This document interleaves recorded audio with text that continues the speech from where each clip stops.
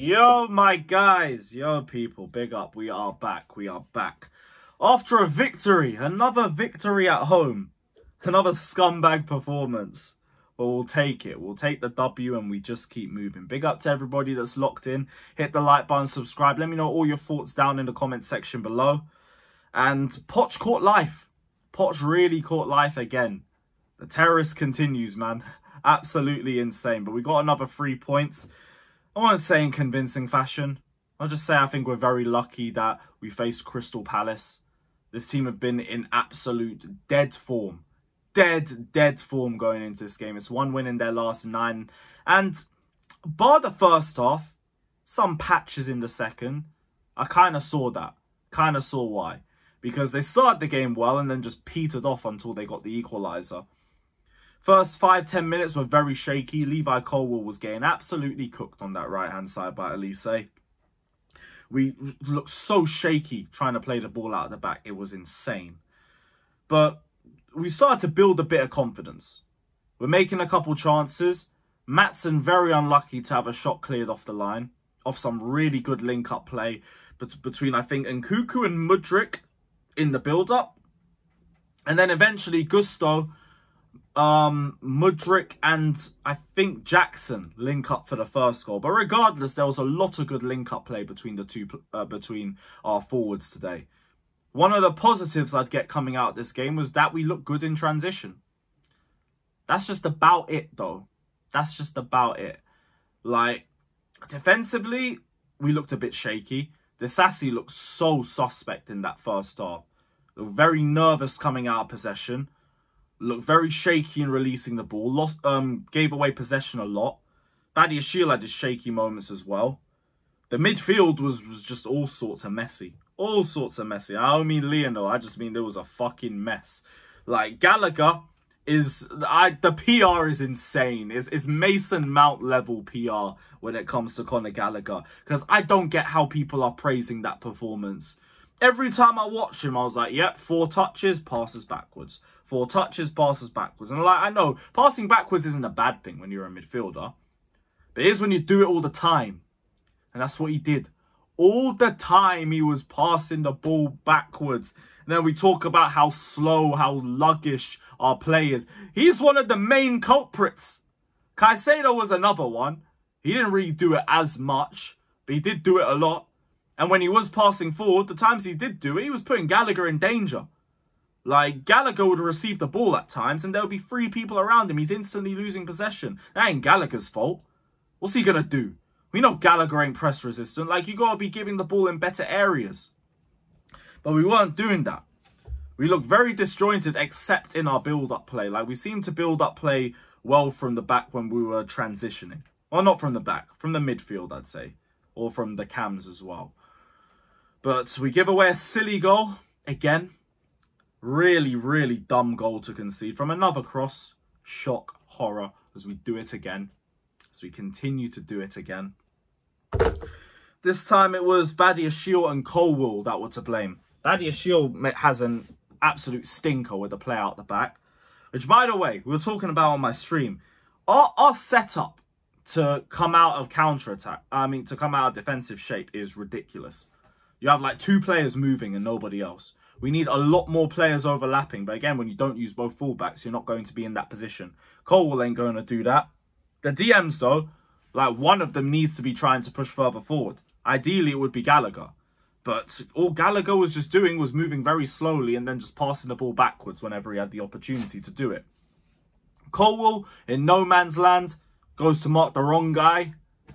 Caicedo just left shocked and bemused because he didn't expect him to do that. And Olise gets a free goal. Free goal. At that point, we look slow, we look sluggish. We start the second half with a lot less intensity. The early substitutes from Poch were genuinely criminal. They were so criminal. How we bring on a DM and a centre-back when we're chasing a goal makes no sense to me. Makes no sense at all we, we pushed Disasi back into right back who was never comfortable in the first place. Like, we pushed Gusto, who's having a good game, onto the left-hand side. We push Nkunku, who's having a good game. onto the right from the middle to accommodate Conor Gallagher, who's already not been doing anything. Well, we're lucky we won this game, man. We are so lucky we won this game. I wasn't annoyed about Nkunku coming off because he wasn't fit for a full 90, and that's fine. That's fine. Mudryk looked injured, so you take him off. That's fine. I don't have any issues with those. And Noni actually scored, so it's fine. Lavia even had a good performance off the bench. Like, there was some shaky moments, as will always happen when he's just coming off a long ACL and he's barely played, but that's fine. I don't really have any issues with that. My my thing was, yeah, he just played well. He played well. He tried to make things happen. He was always going to keep his head up. He was scanning. He was looking around. Um, he was trying to pass forward. I think he passed forward more than anyone else on the pitch. Which says a lot. Says an absolute lot. Well, I need to double check the stat anyway, but it was a promising performance from him. I want to see him starting games soon. Give me the Lavia Caicedo pivot. I, I just I'm done with Gallagher in that pivot. I'm so done with it. Our play out the back is so much more lethargic with this guy in there. It's ridiculous. It's ridiculous. Jackson, very good at the link-up play. Really should have buried that chance from Gallagher. Like the one time he passes forwards and you don't give him the assist. Awful, awful miss. Awful miss. But unlucky with the offside goal. Unlucky with the offside goal. Petrovic, I thought he had another good performance. Really and truly, when Sanchez is fit, he ain't coming back into the team. Like, I know distribution's only been his real issue, but you've also not really pulled up trees. You've not really been world class. You've not really been any of those names. So, you're not really justified to just walk back into the team and keep your position. Now you got to earn it. Now there's competition.